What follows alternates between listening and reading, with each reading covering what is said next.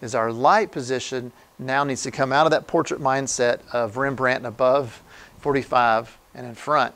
And we would want to move it behind and in, behind and above.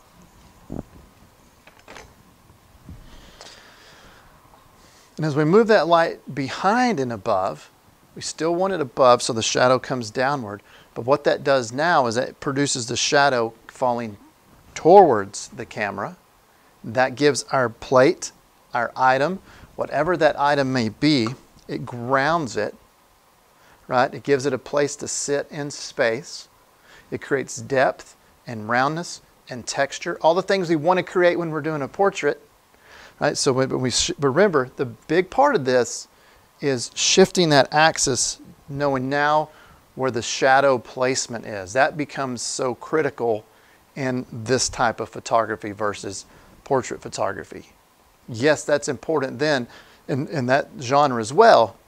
But here, to create that three dimensionality, to create a base, to not have those items be floating, that light placement and position and shadow placement position relative to camera become critical.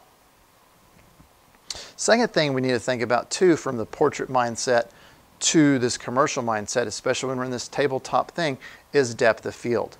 If I take this camera back to a parallel position, which remember most portraits I said are parallel. Camera to subject are close to parallel. You following me? So depth of field, you know, how much is how much of the image is in, does appear to be sharp or in focus? That's our depth of field. Well, in portraits, most of it's most of the part that's going out of focus is going behind them.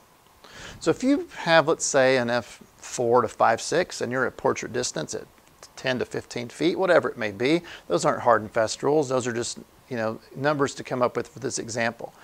If the face is in focus, chances are the body and the rest of it is in focus because we're parallel because that depth of field is moving in a linear fashion across our subject.